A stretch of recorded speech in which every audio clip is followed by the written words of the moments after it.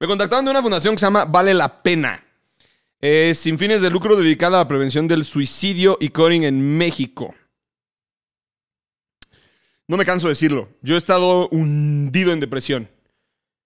He visto al pinche diablo a los ojos. He pasado semanas triste poniéndome una máscara para salir hacia la sociedad y sonreír y regresando a querer resguardarme. He pasado momentos en los que lo único que he querido hacer es no salir. Es como querer implotar y quieres desaparecer simplemente.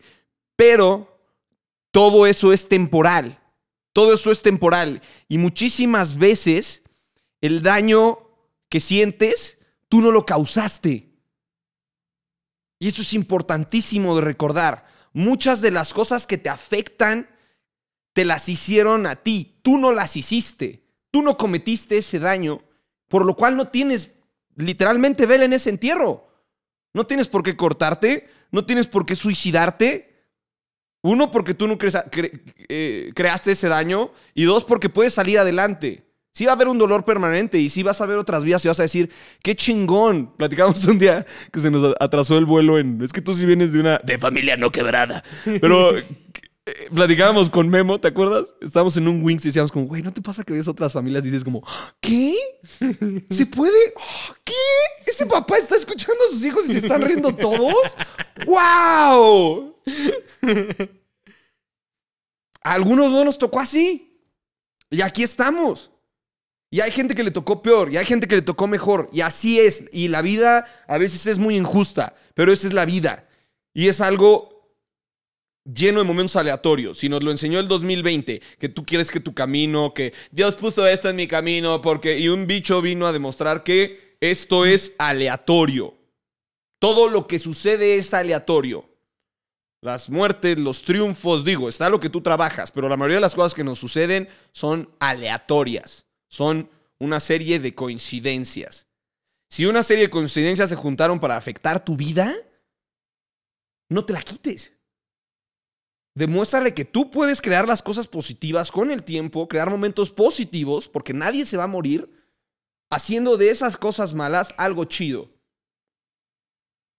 Porque una de las personas más exitosas que conozco es mi, mi tío Jorge, y lo he dicho aquí varias veces. Ese güey no venía de una familia completamente funcional. ¿Sabes qué dijo? Voy a hacer completamente lo opuesto. Voy a demostrar que puedo ser que se pueda hacer bien. Que se pueda hacer una familia funcional, que se pueda hacer algo chido.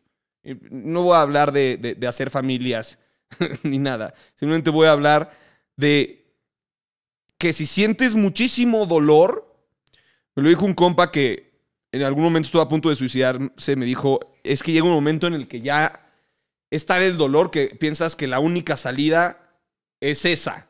Cuando estés en esa puerta, contacta a alguien, contacta. No sientas pena porque así no mames que por pena a hablar un tema te nos fuiste. Y más adelante te va a estar perdiendo de un momento bien chingón. Porque el suicidio no es algo que nunca consideré, pero en la depresión como que pasaba un momentito por la cabeza y decía, no, porque ¿qué tal que sale de tour otra vez Roxy Music y ya no los vi, güey? ¿Qué tal que Roger Waters regresa con un mejor show y yo ya no lo vi? Claro. ¿Qué tal que voy a conocer al amor de mi vida en pinches seis meses y ya no me enteré? Y de eso habla 2222, la, la obra de Odín Duperón, que es una obra contra el suicidio. Vale la pena, por supuesto que vale la pena. Llámale a un amigo y yo sé que se ha hecho infinidad de veces, pero llámale a un pinche amigo. Y a veces, aunque no creas que estás deprimido, si ves que alguien te está contactando es porque te está llevando la mierda. Claro. Y el dolor se puede quedar aquí. Pero cuando haces que ese dolor salga y sea un dolor para otras personas, chale, güey. O sea, uno, si lastimas a personas con tus actos, está de la chingada. Dos, si de repente te quitas la vida, la gente que está a tu alrededor, porque va a haber al menos una persona que se preocupa por ti, va a decir, chinga, ¿por qué no me avisó, güey? Claro, güey. ¿Por qué no me avisó? ¿Por qué no me avisó? Y a un compa se le han, se le han sucedido dos cuates y lo que me dice es como, ¿por qué no, güey? La de mil cosas que hubiera yo podido decirle. Sí, o apoyarlo, ¿no? Entonces, muchas veces esa máscara que les digo que, que muchas veces me puse, hay que quitársela. y decir, me siento mal, me siento triste y tengo estos motivos para sentirme triste. Eh, como ser humano muchas veces eres vulnerable y hay que aceptarlo y, y tratarlo como debe de ser, ¿no? A lo mejor enfrentándolo o tal vez pidiendo una disculpa o algo así. exacto. Pedir una disculpa, enfrentar la situación, levantarte. Y ya no volver a hacer las chingaderas que a lo mejor estabas haciendo. Sí, ¿no? o sea, si, estás haciendo algo malo también, nada más dejar de hacerlas. Y, Que va a haber consecuencias, pues bueno, va a haber consecuencias, pero creo que la muerte no es la salida más fácil ni la más coherente para hacerlo. la ansiedad llega y la ansiedad es querer estar en otro momento. Te va a dar esa ansiedad cuando hayas hecho cosas malas porque vas a querer estar en otro momento. Pero spoiler alert, ese momento es el momento en el que quieres hacer algo positivo y quieres hacer algo por tu bien y por el de los que te rodean. Entonces, por ese momento es que vale la pena levantarse, decir, ¿sabes qué? Ya me di mis dos, tres días de llanto. Acuérdense, tu alma ocupa lluvia para crecer, dice Daniel ¿Quién? Sácalo, sácalo, sácalo. Y, y vas para arriba. Pero no te quites la vida. Hay un chingo de cosas que hacer, güey. Sí. Las rolas del Camilo están bien bonitas, güey.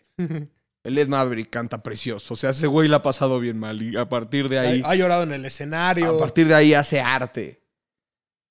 Hay un chingo de cosas bien bonitas que hacer, güey. Está la playa. Aunque no tengas lana, puedes llegar a la playa haciendo pinche hitchhike. Las películas de Derbez han demostrado que, que puedes ir dando de, ave- de ave- de aventón, llegas a cualquier lado. Y muchas veces también es el aceptar el entorno en el que estás y a lo mejor eh, es cambiarlo. Muchas veces. Está en tu poder cambiar ese entorno, Ajá. en el de nadie más. Y es un proceso difícil, sí es difícil, y duele mientras, sí duele mientras, pero cuando llegas al otro lado o cuando empiezas a ver que estás llegando al otro lado, dices, a huevo, por esto lo empecé. Pero no lo frenes quitándote la vida, porque hay muchísimo que vivir y hay música bien bonita y ya estamos saliendo de la pandemia, entonces otra vez ya vamos a poder salir a hacer cosas bien chingonas. Y cuando fue la, la, eh, peste hace 100 años, hubo una una una explosión artística posterior cuando la gente pudo salir. Si te suicidas, te la vas a perder, güey. ¿Qué tal estar el nuevo disco de J Balvin? No lo vas a saber si te suicidas, güey. ¿Qué va a hacer ahora Z Tangana? No lo vas a saber si te suicidas, güey. Exacto.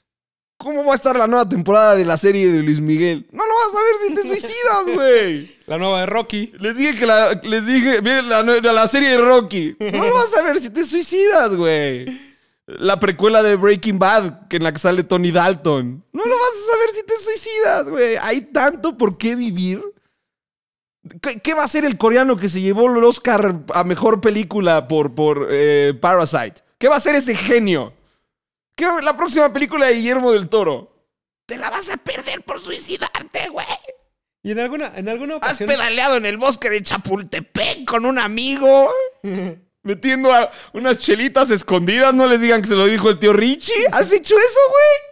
y solamente quedarte a ver Y cielo. nomás quedarte a ver el cielo y decir la vida es buena. ¿Te has comido una hamburguesa y le has subido el volumen a una rola mientras vas en un coche y dices la vida es buena? Esas cosas se pierden si te guardas o si te matas. Sal y vive.